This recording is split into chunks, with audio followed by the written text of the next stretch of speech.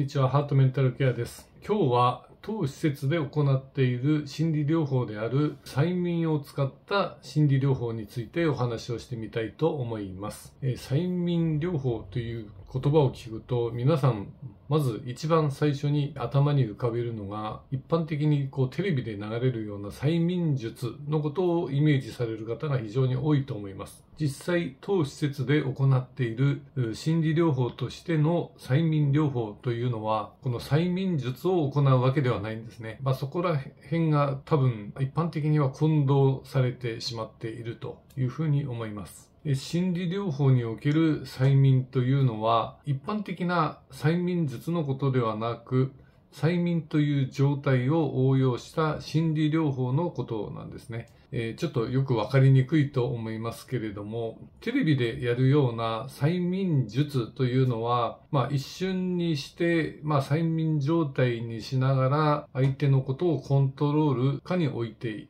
いくようなものを催眠術と言います。えー、例えばですね、味覚だとか視覚だとかいろんなものを支配できるんですが、例えば辛いものを甘く感じるようにしたりだとか、そこに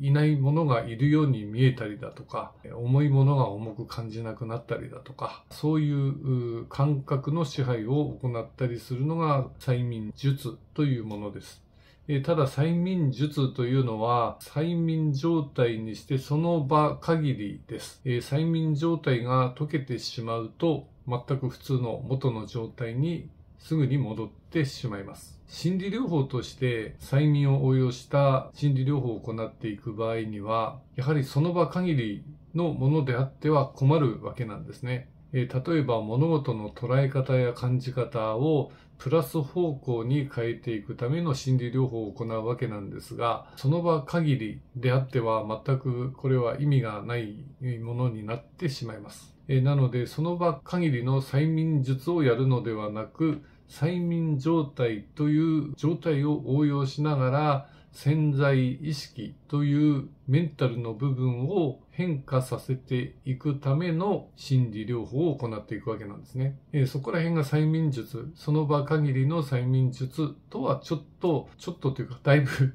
あの、違うものになっています。なので、催眠術を使ってすぐ鬱をこう治してくれとか、すぐに心を晴れやかにしてくれとか、という、そういうものではないんですね。ただ多くの方は催眠術と勘違いしていらっしゃる方が多いように思います。こちらに来てどういうことを行っていくのかというのをしっかりと説明、させていただくと、あ、そういうことなんですねと。えー、催眠術ではないんですねと。一瞬で治せるわけではないんですねというような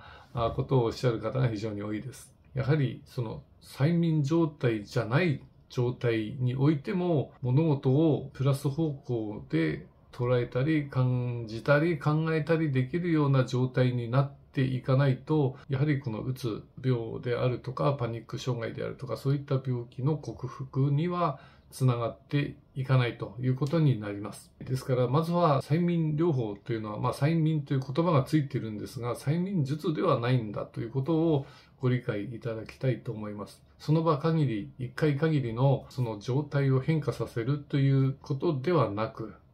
長期的にその物事の感じ方や捉え方の部分をプラス方向に自然に変えていけるための心理療法を繰り返し行っていくんだということなんですね。えー、まずはそこをしっかりとご理解の上で受けていただきたいなというふうに思います。え、かん合わせてね、行うのがカウンセリングというのがあるんですが、え、カウンセリングというのは、え、意識の中の潜在意識の物事の考え方ですね。潜在意識の癖であるとか、そういったところを矯正していくためのものです。これももちろん合わせて行っていきます。まあ、心理療法といってもね、いろいろな、あまあ、療法があるわけなんですが、例えば認知行動療法であったり、えー、森田療法であったりだとか、まあ、催眠療法もその一つに入ります。えー、催眠療法というのは特別なんとなくね、あの、催眠という言葉が入っているので、えー、催眠術と非常に混同されやすいような感じを受けてしまうんですが、実際やることはね、催眠術をやるわけではないんですね。ということなので、ま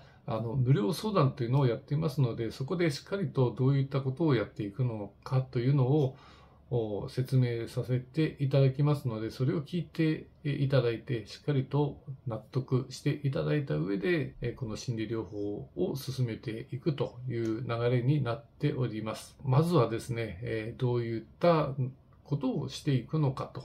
と、どういう効果が出てくるのかという説明を無料相談で行っております。そして今どういう症状でお困りなのかというのをしっかりと伺って、それがこの心理療法によって改善できるものなのかどうなのかという判断もさせていただきたいと思っております。まずは気軽にね、無料相談を受けてみていただくと非常にわかりやすいと思います。今日はですね、催眠療法ということについて少しお話ししてみました。はい、それでは失礼します。